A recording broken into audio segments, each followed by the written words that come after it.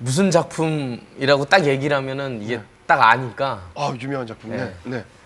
되게 좋아하는 감독님이 있었어요. 근데 저희 형하고도 치- 개인적으로 친분이 있고 제가 그래서 예전에 영화 하기 전에 많이 뵀었어요 그분을. 예, 예, 예. 그분이 이제 장편 처음 영화를 예. 찍는다고 그렇죠. 그러시거든요. 네. 감독 입봉. 그래서 저한테 시나리오를 주신 거예요. 예. 너가 했으면 좋겠다. 그래서 아 예. 시나리오를 읽었는데 어 지- 이게 어떻게 얘기가 될지 모르겠지만 저는 지금까지 읽었던 시나리오 중에 전 제일 재밌게 봤거든요.